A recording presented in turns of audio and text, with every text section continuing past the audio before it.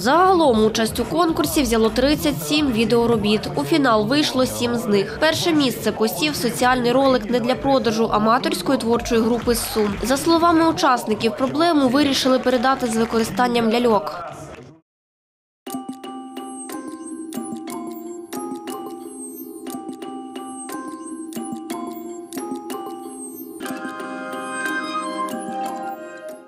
Було задіяно четверо. Виходить, що кожна людина попрацювала з лялькою, тобто почала її рухати. І завдяки чорному фону, який ми самі також створювали, це був не хромаки, нічого такого. Тобто, все своїми силами, тканина і тому подібне.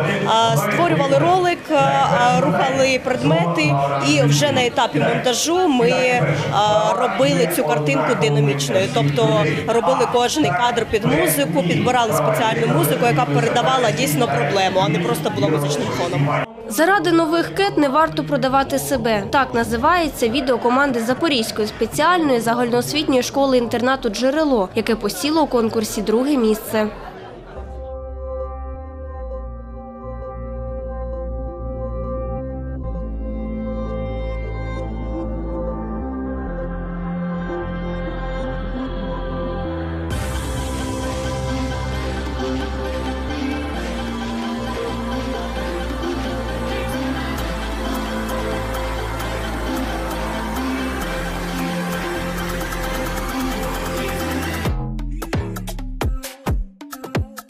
Катерина Іващева створювала свою відеороботу Я не для продажу самостійно. Дівчина вважає, що проблема торгівлі людьми значно масштабніша, ніж суспільство про неї знає.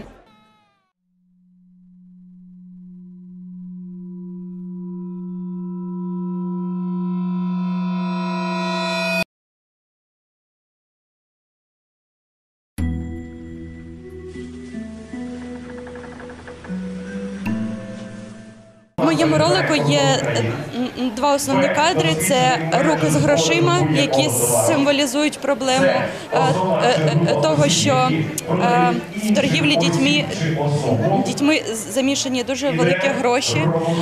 А також є, кадри з зображенням дитини, хлопчика, якого стискають руки. Е, Дорослого чоловіка як символ того, що е, найбільш за все е, цій проблемі підтверджені діти. Команди отримали нагороди у декількох номінаціях. за кращу режисуру, за кращу роль виконану, за кращий посил, за кращу ідею, за кращий, за кращу монтажну і роботу технічну. На третьому місці команда Сумської академії, на другому місці команда Джерело. І на першому місці також суми. Фестиваль це наразі вже остання подія цього проєкту. Ем, Спочатку ми працювали з поліцейськими, потім ми працювали над створенням соціального відео. За словами менеджерки проєктів благодійного фонду Посмішка дитини, фестиваль заключна ланка проєкту. Спочатку співпрацювали з поліцейськими, вже потім відбулася робота над створенням соціального відео. Свою співпрацю з благодійним фондом е, Посмішка дитини ми розпочали у вересні цього року. Розпочали з тренінгів для працівників ювенальної превенції. Е, Було проведено два тренінги дводенних, на яких е, ментори благодійного фонду навчали працівників ювенальної превенції, як у подальшому працювати з дітками, проводити просвітницькі заходи для того, аби діти знали, як уберегтися від торгівлі людьми. Анастасія Шевченко, Вадим Тимченко. Новини на Суспільному. Запоріжжя.